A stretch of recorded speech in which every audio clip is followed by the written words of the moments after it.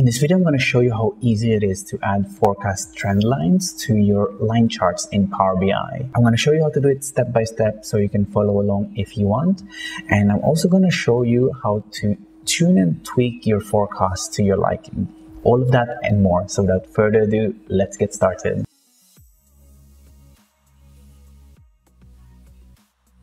Hi, my name is Fernan and welcome to the Solutions Abroad YouTube channel where I focus on teaching beginners the wonderful world that is Power BI. I upload new videos every week, so make sure you hit that subscribe button and the bell icon to get notified when a new one is out. So let me show you how easy it is to do in Power BI Desktop. So let me show you this demo that I prepared for you today.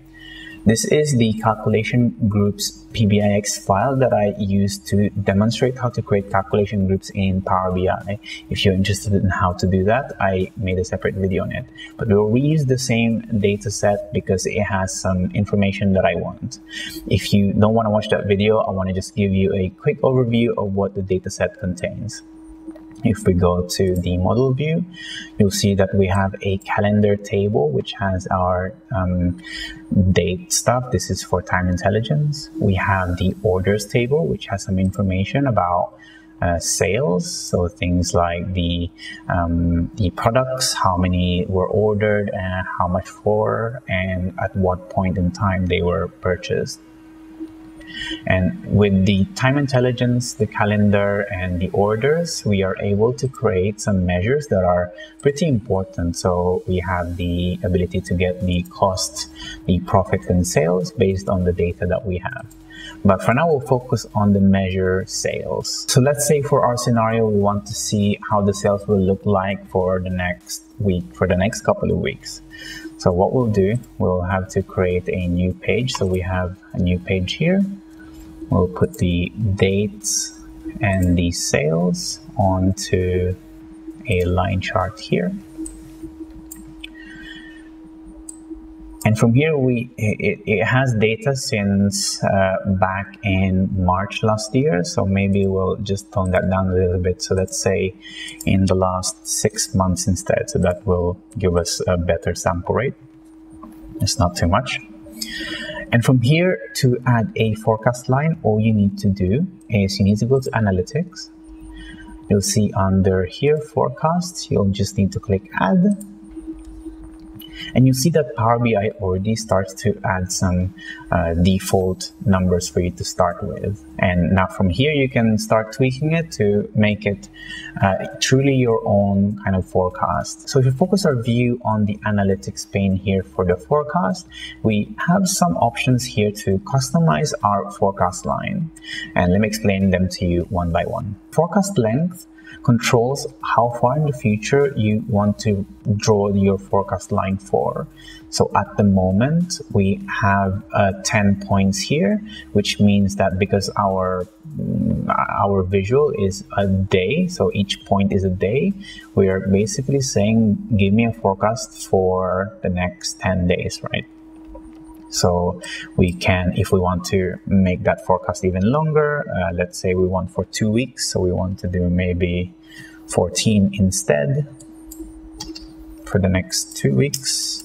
If it will let me, if you hit apply, so you see that now grows. Ignore last point moves your prediction on top of the actuals. So uh, it, it overlays it on top of your actuals. So you're able to kind of compare and contrast how your predictions are compared to what the actual results are.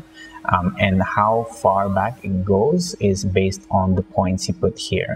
So again, because points means days. So if we say I want to see how the forecast was for the for the last seven days, so if we change this to seven, you'll see that the um, prediction goes back seven points and you'll see that the prediction line on top of the actuals. The confidence interval controls how big your upper bound and the lower bound is of your forecast trend. So you see um, by the gray area on top of your forecast lines.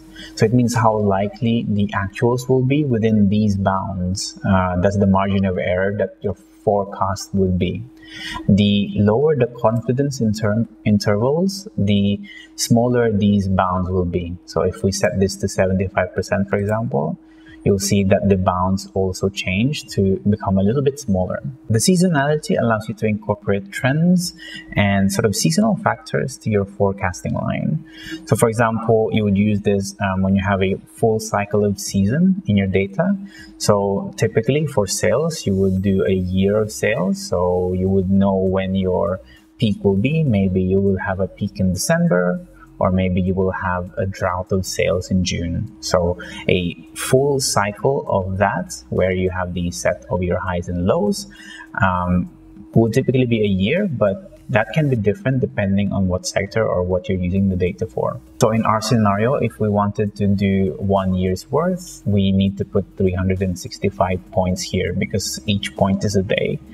However, as you notice, because we don't have a full set of years data, we should not be using the seasonality that way because the seasonality works based on sample data, right? So it will sample based on uh, historical, uh, based on historical data. In order to use the seasonality effectively, it's actually recommended to have your chart to have four times the data of what you're using as your seasonality. So that gives the Power BI visual the ability to sample enough seasons to create some more um, accurate forecasts. So in our case with our sales, maybe we can't do year, but for sure we can do month because we have the past six months. So in this case, uh, we want to put 31 here or maybe 30, it doesn't really matter. So now that will, if I hit apply, you'll see that the kind of predictions change based on that seasonality. So the season, which is every month. And that's really it for this video. I hope it helped you understand how easy it is to start using forecast lines in Power BI Desktop. Leave a like on this video if it helped you. It's the best way to let me know that you enjoy this type of content. Get in touch using the social media links that are included in the description box below. And thank you so much for watching, guys. See you again on the next one.